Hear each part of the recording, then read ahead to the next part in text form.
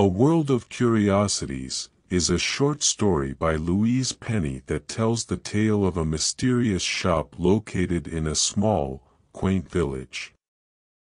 The story follows the protagonist, a young girl named Grace, as she explores the shop and discovers a world full of oddities and curiosities.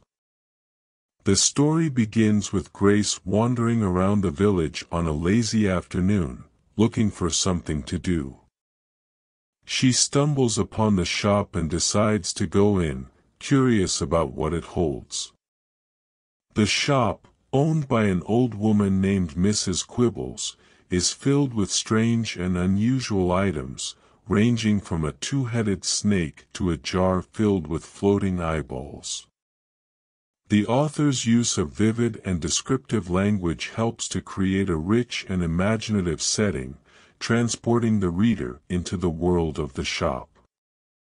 For example, she describes the shop as having musty wooden shelves that groaned under the weight of their contents, and odd-shaped objects that glinted in the dim light. These descriptions create a sense of mystery and intrigue, drawing the reader further into the story. As Grace explores the shop, she begins to uncover more about the strange items on display. She learns that the two-headed snake was once owned by a magician and that the floating eyeballs are actually the preserved eyes of long-dead animals. Each item in the shop has a story, and Mrs. Quibbles is happy to share them with Grace. The author's use of characterization is particularly effective in this story. Mrs. Quibbles is portrayed as a wise and eccentric old woman, with a wealth of knowledge about the oddities in her shop. Grace, on the other hand, is curious and eager to learn, but also a bit apprehensive about the strange objects on display. The contrast between the two characters creates a sense of tension and uncertainty that adds to the overall atmosphere of the story. As the story progresses, Grace begins to feel more comfortable in the shop, and her curiosity grows. She asks Mrs. Quibbles about a particularly odd-looking object, which turns out to be a unicorn horn.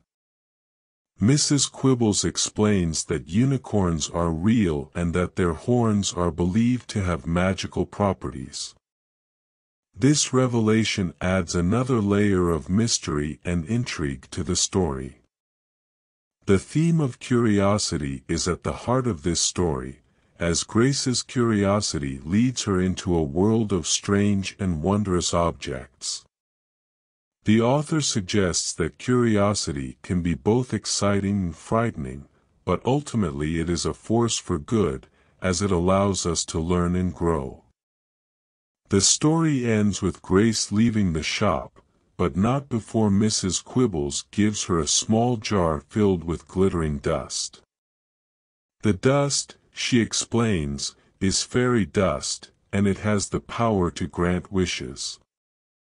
This final twist adds a touch of whimsy and magic to the story, reinforcing the idea that the world is full of mysteries and wonders waiting to be discovered. In conclusion, A World of Curiosities is a charming and imaginative story that celebrates the power of curiosity and the wonders of the world. Through vivid descriptions and engaging characters, the author creates a rich and compelling world that readers will not soon forget. The story encourages us to embrace our curiosity and to explore the world around us, for there is always something new and exciting to discover.